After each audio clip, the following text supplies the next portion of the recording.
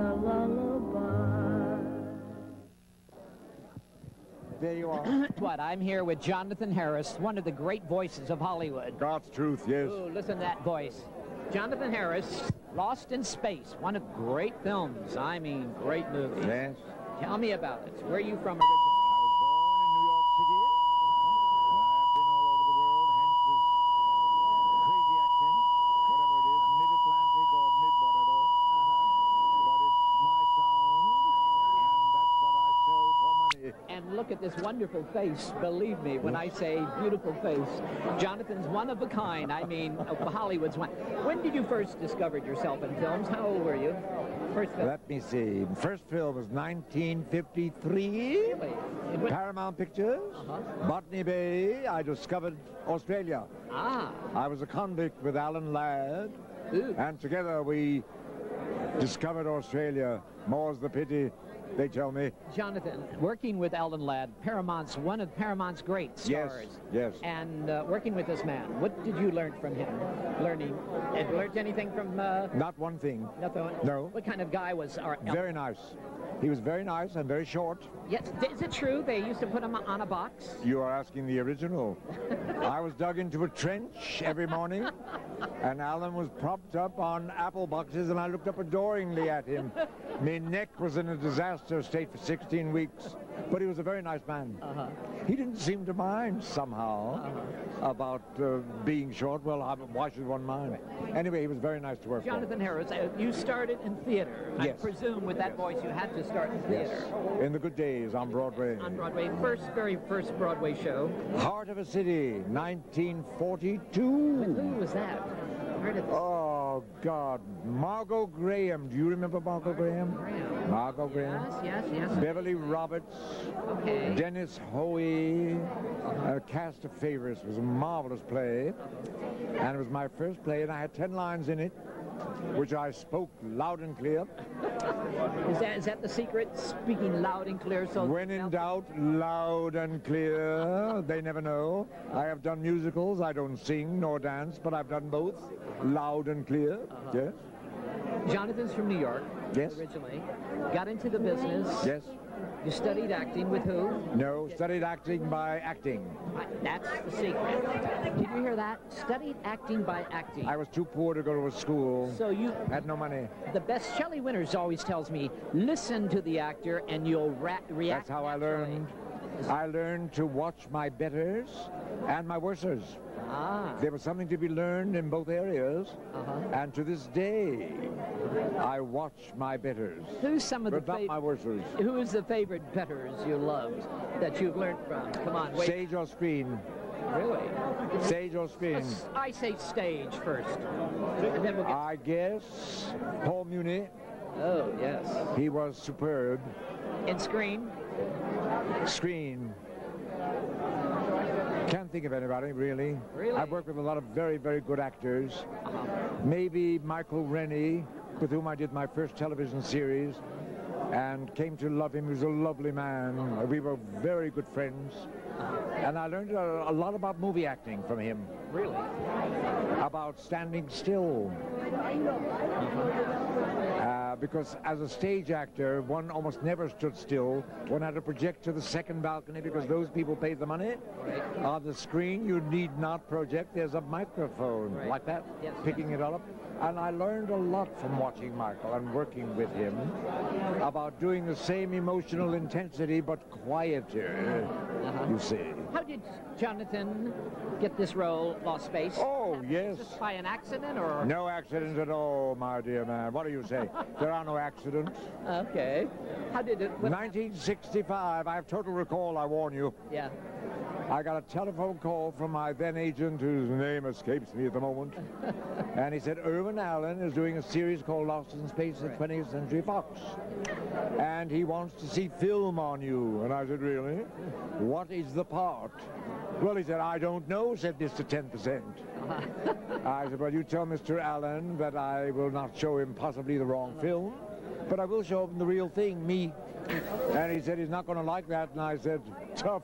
Of course, you know that ain't what I said at all. And uh, he called back for 20 minutes and said, Irwin Allen wants to know who the hell you think you are, and he'll see you at 4 o'clock. Ah, And that's how I got this plum. it is a plum. Oh, it's a plum. This really got your name out there. I think I've done 612 television films. But this did it. This is the plum. Yes, it's the plum. And I'm very grateful. What's the most joy that you have here in Hollywood? Could you share some joy that you... I have tremendous joy. I live in a lovely house uh-huh. with a lovely wife of many, many years. Uh-huh. And I have a marvelous son who attends to his parents uh-huh. and loves them dearly. Says he does. It's because he wants all that money, you see. And calls up four times a day, which is lovely, you see. And I adore going to work. I am the king of the voices. You really... Yes, Oh, you are. You are the king of voices. Oh, yes. I'm now doing the animated Disney new feature film Uh-huh. called It's a Bug's Life. We're all bugs. I am the praying mantis, referred to in the script as the magnificent Manny. They've been reading my fan mail. and Madeline Kahn is in it, and Phyllis Diller, and David Hyde Pierce.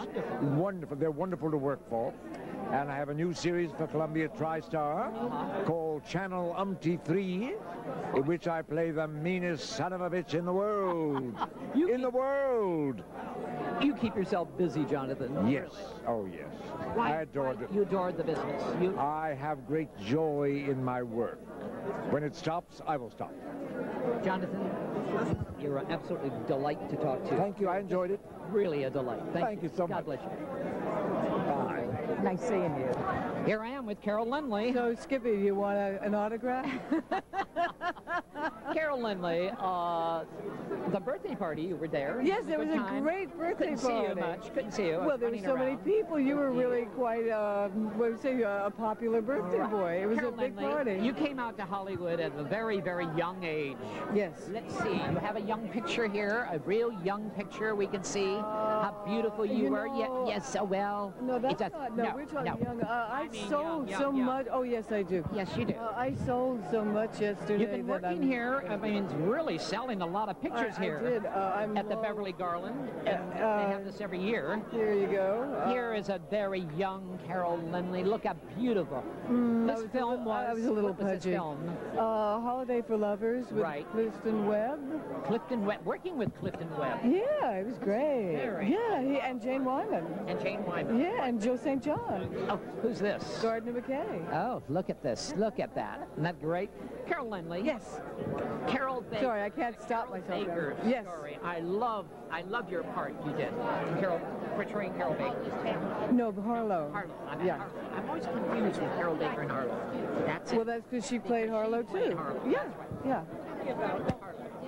Tell me about Harlow. I love that. Uh, well, there were two versions of it. Right, Uh, I had started, uh, mine was Electronovision, which was an experiment that really didn't work.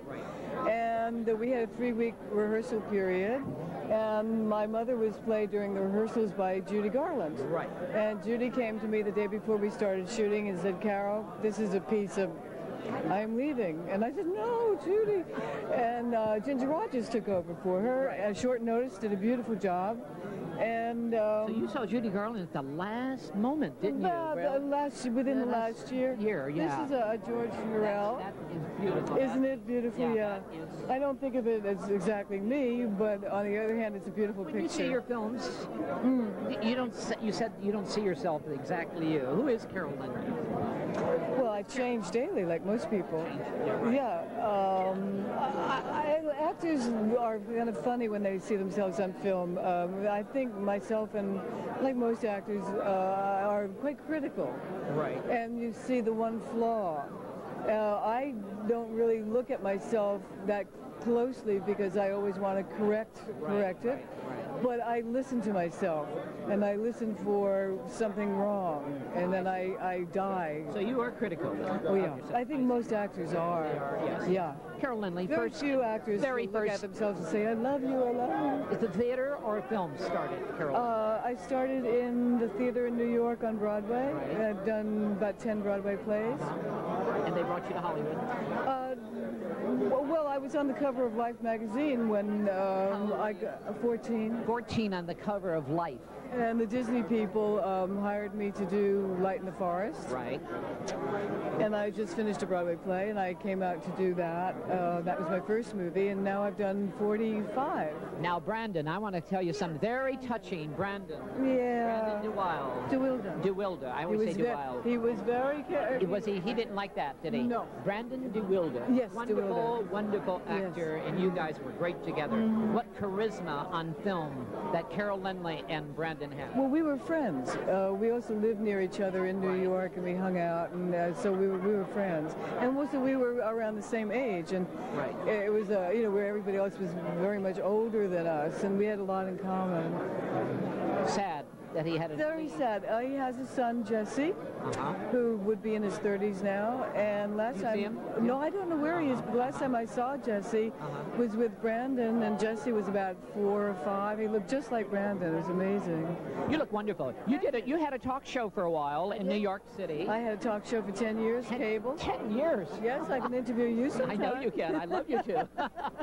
we'll interview you. Yes, yes. Carol Lynley is always. Give me that microphone. Carol Lynley, you're great. Thank, you. so much, darling. Okay. Always great You seeing really you. hang on to pretty tight to that mic, Skip. it's yours, honey. Thank you. Thank you. Pat, How are you? I haven't seen you for. Pat Priest table right now. How are you, Pat? I'm going from table fine. to table, from Carol Lynley, Troy Donahue, oh. John Agar, and now Pat Priest. Well, I'm I'm glad to be in such wonderful company. You are, darling. My God, look at this. Look at Pat here. Look at Pat here. What have you been doing? These are the monsters and Do all you know the interesting thing is the show has been on the air for 34 years, every single day somewhere in the United States. And of course, when I do these shows, I have to remind little children, you know, who think it was filmed yesterday. Right. And they expect to see, you know, 19-year-old Marilyn. Right. I have to, you know, remind them, and they'll look at me and they'll say, "You Marilyn?" And I'll go, "Yes, I am." And they'll say, "You don't look like her." And I'll go, "Well, you know, that was 34 years ago, and we do age." Tell me, how did you get that role? How did Pat get it? Um, I tested for Did it. you really? They, there was the first Marilyn. She was there for four months. Right. And then she was leaving to get married, and this was the last day of testing, and and they tested five girls, and this was on a Wednesday. Right. And they called me up on Thursday to tell me I got the part. Friday I signed the contracts, and Monday I started working. And that's been what, 30 Oh. some? Look at how many. It, 34 years God, ago. You're still getting checks all the time, right? No, no. No, no. What you see, happened? I worked under all, I worked under the old union contract. Right. That's why I'm doing memorabilia shows. And we did not get any How residuals. naughty, how really naughty. You know, and there were a lot of us, you know, Batman and the Green Hornet and, and lots of us that, that just did not get residuals, I'm which so sorry about that. Pat, where are you from originally? uh, I'm from Utah originally. I'm living now in, in Idaho. Ooh, tell me and about I just, Idaho. oh, it's wonderful. Well, I live in the best part. I live, uh, actually, I live just out of a ski resort called Sun Valley, which everybody's heard of. I live in a little town called Hailey, and Bruce Willis has made our town famous because That's he owns most That's of the right. town. That's right. And uh, I love it. You know, there comes a time in life when uh, quality of life is more important than quantity, and that's why I'm I'm looking at you right now. You look absolutely wonderful. Well, thank and you, you Skippy. a down-earth lady. You have really got your ah. buttons together now. You know exactly Well, I hope so. It's taken me a long and time. It's a tough place to grow up. Oh, it is. Really It tough. is. What has been the hardest for you? Well, do you know? I think when I when I came on the scene, I was already married and I had two children, and um, I really wasn't a part of the Hollywood scene. I didn't grow up in it, and so to me, you know, it was a job. I went, I worked, I came home to my family. Word to Ann Blyth. I asked her the same question. What has Hollywood done to you? And she said the same thing. She goes, to church or family, it's Yeah. just a job. Just exactly. And if you make it that way, it won't go any further. You know, you're absolutely right. And I have wonderful memories, wonderful memories of the show. And the people are waiting to send your Oh, no, And no, Pat, thank you're you. wonderful, darling. Thanks, Skippy. Good to see you again. Thank you bet. Bye-bye. Yeah. Okay, give me the butch. Uh, okay. I am sitting with Tommy Butch Bond. Hello, Tommy. How, How you are doing, Skip? God, I haven't seen you in a long time. It's wonderful to see Your you again. book is out. I just Yeah, see it's yeah. that book is doing. How is it doing? It did real well. I think they're going to go into a softback so they Uh-huh. can sell it in more places, you know. Now, growing up here, this is you as a kid. Look at that, Tommy. Butch. working with the uh, gang, all the gang. Tell me about working with our gang. Well, I loved it. It was wonderful. And, you know, uh, the, the wonderful part about it is that uh, I've been representing Cabin Fever Entertainment, you know, Right. for the last four years. And we've been all over the country talking to just plain folks, Uh-huh. families, and they love the Little Rascals. We played to four generations of them. You know how many, four generations, you're going back 40 years, and Yeah. I want, I must explain to you how many people in the globe have seen The Little Rascals? Oh. How many people have seen our gang comedy? How many people have seen these wonderful little men? You know, there's Look at them all here. Yeah. Look, I mean, look at these kids. Here, look, there we are. Look at this. Look at Butch here. Butch is incredible. Working with this man right here, this young man, Buckwheat. Buckwheat. Wonderful guy. Buckwheat. How did he feel as a black man, work, a little black boy working with these white boys? Well, you know, Did he make any remarks about that? I asked him and I asked Stymie, I asked Sunshine Sammy, how did you guys like working in the Rascals? Did you like it? right. They said, we loved every minute of it. Uh-huh. And this one right here, this lovely lady. Darla. Darla, Who's, yes. Darla. She passed away in She did? 1980. Yeah. And this one right here? I, you know, I don't know who he You is. don't? no? Looks like me. No. I did something like that. Well, I know too. you did, yeah. At Monogram for... That's uh, right. You were an actor. Yeah, I certainly was. You I were was a kid kid- actor. A kid actor like That's you. right. But not as famous as you. Well, Tell me about how did you become in show business and as uh, our gang and our... Uh, Well, I was living in Dallas, Texas, Right. and I was uh, five years old. And I was walking down the street with my mother and my grandmother. Right. And this gentleman walked up and he stopped us and said, uh, uh, "Is that your son?" And my mother Right. said, "Yeah." He said, "Well, you know, he's got a great face." He says, "Great nose." he says, "He says I'm a talent scout for Hollywood Studio." And he says, "If you can bring him out to Hollywood." He says, I can't guarantee him a job, but I can guarantee him an interview with Mr. Roach. Right. And my mother said, well, we can't just drop everything. You know, my husband's got a job. Right. My grandmother standing there, she said, I'll take him. Was he tough to work for, Mr. Roach? Roach, he was wonderful. Was he? Treated the kids all... He never interfered with the directors. He let the directors do Uh-huh. He never job. came on set? Oh, yeah, oh, yeah, oh, yeah. Okay. Just to play with the kids. Right, right. Uh, and we'd visit with Laurel and Hardy. They'd visit with us. Lauren Hardy. I'm, I'm sitting here with a man who's been with Lauren Hardy, one of my favorite teams. Well, I've worked with them in Blockheads, right. too. You did. In Yeah. vaudeville. Yeah, yeah. What did you do in vaudeville? Uh, Sang, dance? Yeah, a little something like that, but mainly it was movie work. Movie uh, work. I worked with Thelma Todd and Patsy Kelly Right. on the Roach Lot, and Charlie Chase on the Roach Wonderful Lot. people. Oh, that's why they call it the Lot of Fun. What has been the... Well, that seems like a big joy for you, going back. But what has been the hardest for you as a child actor here in Hollywood growing up? Has it been hard things for you? What has been the hardest? You know, it was real easy for me. I don't know why. It was tough on some of the Uh-huh. kids. Uh, some of the kids could not go through being an actor, a child star, and then making a transition into nobody. Right, right, right. It didn't bother me. Uh-huh.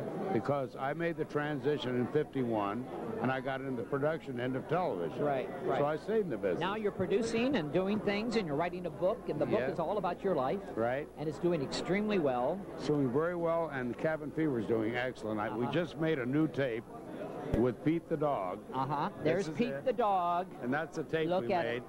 It'll be released in August and it's just one Uh-huh. tape Uh-huh. and it's called For Pete's Sake and it's four episodes with just featuring Pete the dog Uh-huh. and I narrated at the beginning with the new Pete. That's great. That's the You- one that was you- in the new you- movie. Do you make the rounds for children's schools at all? Oh yeah, oh do? yeah, oh sure. We we play the kids because we want to influence the Right, kids right. in something that's good and clean. Looking today, it's very difficult. Looking clean and wholesome and clean. It's very difficult. It wasn't like that when you grew up. Not when you grew up either. No, it wasn't. it It's tough, wasn't. It's tough. tough today, but the kids love it. Uh, with with television the way it is today, they don't show the Right, rascals very much.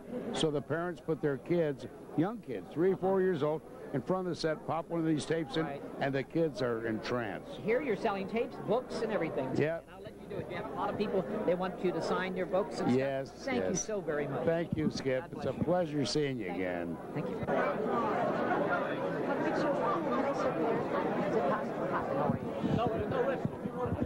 Yeah, that'll be fine. Thank you, sir. Yeah, single like, like Christmas, the album. Your, your CD is the only CD I can Great. really groove on. Yeah. Thank you. Guess what? I'm sitting here with this lady. This lady is the lady in Hollywood right now, young, personified. Tracy Lord, how are you? I'm very well. How are you? Wow. I've been looking at you everywhere I go in Hollywood. You are just making. Can we look at this? Look at this table here at the Beverly Garland.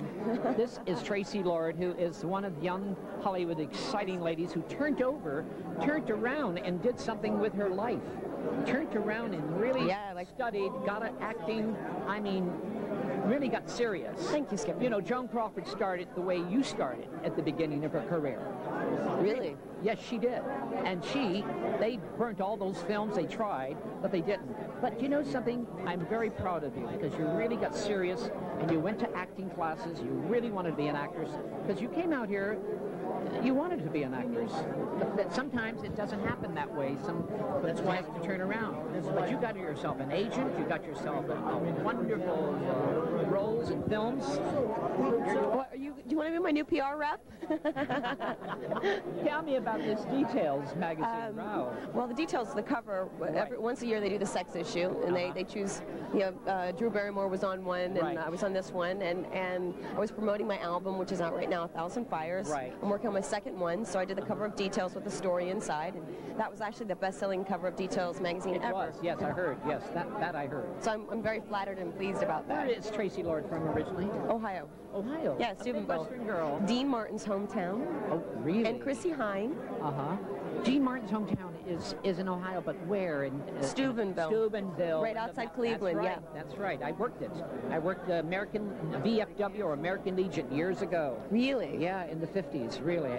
I used to do club Oh, you're dates. too young for that. Oh no, I'm not. Tracy, when you were back growing up in uh, Ohio, did you ever thought this would ever happen to you, or did you always aim for it? No, I mean, I, I, I was like any other little girl. I didn't really know what I wanted to do or want to be. No, I mean, in high school, I, I didn't have really plans for that. I mean, I always wanted to be a model. I always wanted to work. I always, You went to New York, did you, from there? um, I was in New York and I was in, I was in Hollywood, and you came out here with your, uh, what, how old My you? mom. I was mom? 12, yeah. You were 12. yeah. So I'm basically a California You and Brooke girl. Shields. You and Brooke. Yeah. You and Brooke Shield have a lot in common. I've never met her. Never met her, but you do have a lot in common. Really? Yeah, I have a feeling because she was a model. Mm-hmm. Her mother, pushing, and she did a lot of bathing models uh, in the bathtubs and stuff like that. Mm-hmm. And you did the same thing, you know, really, basically. And uh, to be a sex goddess in Hollywood, is it tough? You tell me. I'm talking to you. You'll never drown, that's for sure. Wow, thank you very much. it's always been like this. But you're very beautiful. Thank you. And uh, is there a man in your life right now, Tracy? Yeah, same man. Same man? Yeah, John Enos, Uh-huh. my fiance. He was on Melrose Place. He came on Melrose Place after I was on the show, and then we met um, actually through my uh, acting coach at a Christmas party. So about two years now. He was here earlier signing, but Shannon has since taken his place. Melrose Place.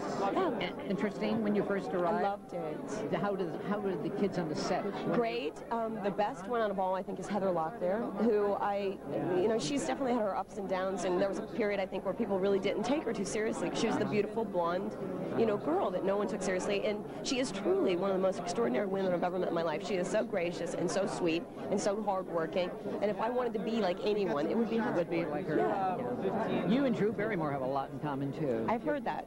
yeah, very much so. Nice talking to you. Nice You're a lovely you. lady, and I wish you a lot in your career. Thank you. Thank you very much. Have a nice show.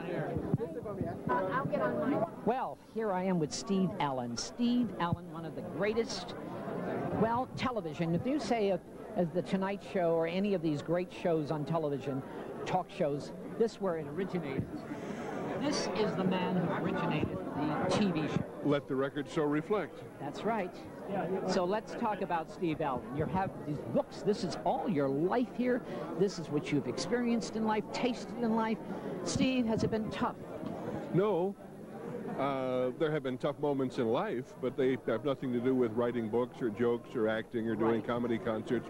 That's all the fun part. But living, living, going back. Let's going back to your career. First started in from New York originally. Well, in the sense that I was born there, and my mother and father were a vaudeville comedy team. Her name was Belle Montrose. In fact, one of the collectors that was here yesterday uh, came up and gave me something uh, very generously that is quite precious to me. It was a little article from Variety, the trade publication, as you know, in 1921 or some year, year like that, uh, about my mother.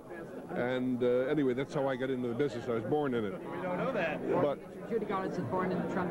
it was, Allen, really. It was pretty much that way. Yeah, I was born in New York, although um, kids of vaudevillians had a kind of a tough problem once they reached school age, five or six, because the law says you have to go to school. But to go to school, you have to live in one town, and the vaudevillians didn't live in one town. They, were a different town every week or so. Consequently, I didn't see my mother that much uh, during the important years.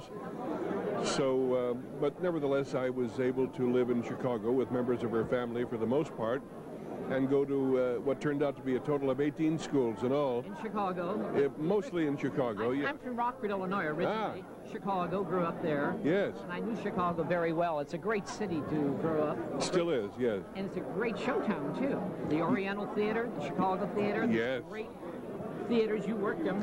A lot of history there, right? Tell me about the Oriental Theater. Did you work that show? I went down there one night, and there were no Orientals, so I never went there again. It was a very disappointing experience.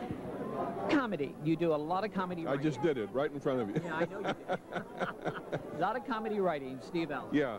Well, some of my books are funny. There's a book called How to Be Funny, and it's funny. Right. There's another book called Make 'em Laugh, and it's uh, in the funny category. And in A fact, cooking book, too, don't you? uh, cooking- no, but? I can have one for you Oh, by Tuesday if you need. okay. This is just one of my series of murder mysteries. This is called Murder, in Murder in Vegas, and there's a new one coming. Well, here's Miss America. How are you? Oh, I'm fine, This darling. How are you? Meriwether. Yes. The What's left of her? How are you? What do you mean leftover? Why Well, I'm- that, dear? I'm I'm suffering through jet lag. I'm I'm living in New York now. Oh, that's my favorite place. I want to go. I want to go to New York, Mr. Blackwell.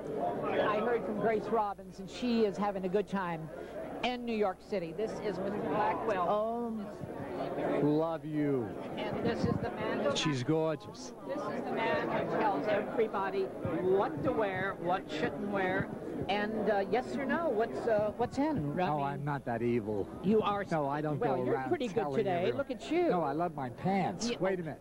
Yes. Okay. This is history. the pants. The pants. Okay. Signed. By everybody. isn't that wonderful? Oh my God. Yeah. Interesting. I No, love these are going to be auctioned off at a Share Boomtown affair. Uh huh. There's great signatures on here and wonderful autographs. Great idea. I'm flattered to be on with someone so pretty. This is a Oh, pretty lady, nice? and the year was what year was Miss uh, America? Oh, dear. That's a long time ago. A Let's share. We're having a good.